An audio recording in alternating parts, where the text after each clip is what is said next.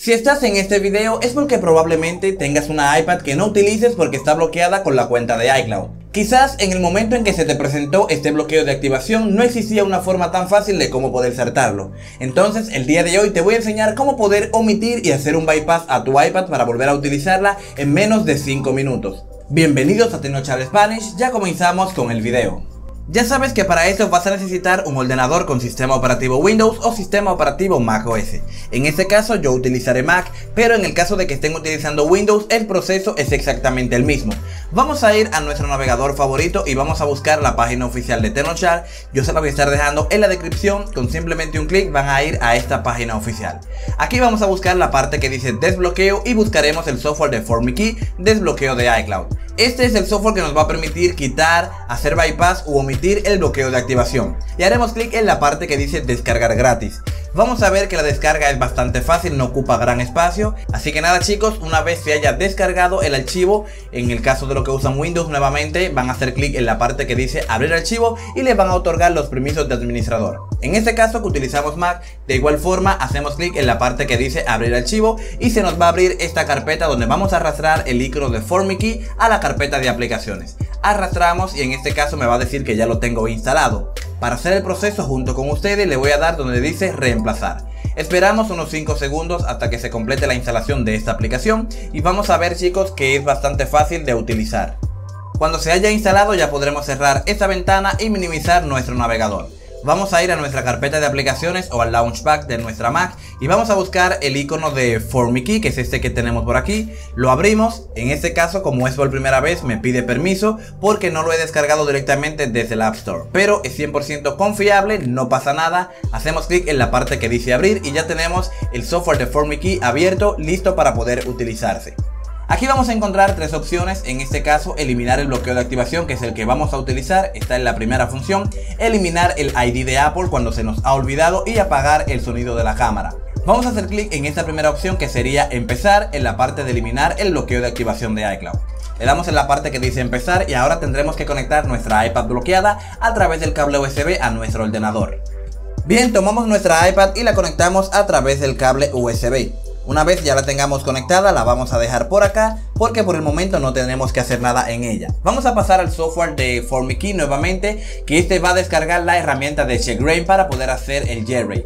Como pueden notar eso se hace de manera automática. Acá en el software de CheckRain tendremos que pulsar el botón Start y luego el botón que dice Next para poder entrar nuestra iPad en el modo de recuperación. Vamos a ver que se va a apagar la pantalla y cuando nos muestre el cable USB apuntando hacia el logo de iTunes significa de que ya estamos listos para continuar con el paso siguiente.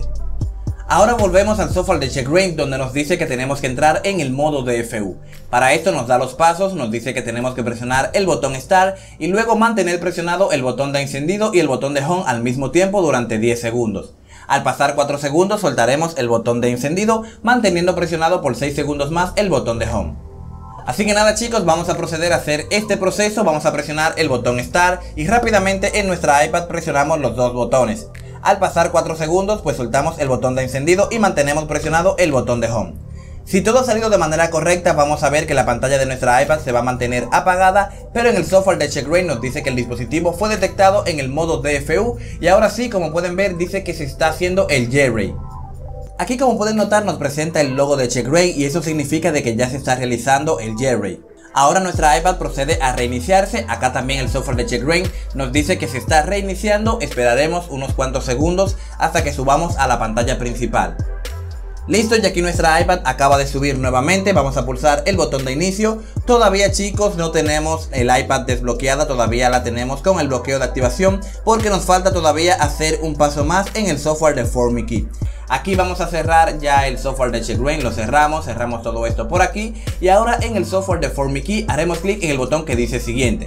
Vamos a ver que nos va a dar la información de nuestra iPad, nos dice el modelo, nos dice la versión de iOS, nos da el número de email, el número de serie, entre otras informaciones más. En este punto solo nos queda dar un clic en la parte que dice empezar a eliminar y vamos a ver que en menos de 30 segundos ya el software nos dice que se ha quitado con éxito el bloqueo de activación. Ahora nuestra iPad procede a reiniciarse y al momento de encender nos va a aparecer en la pantalla de inicio.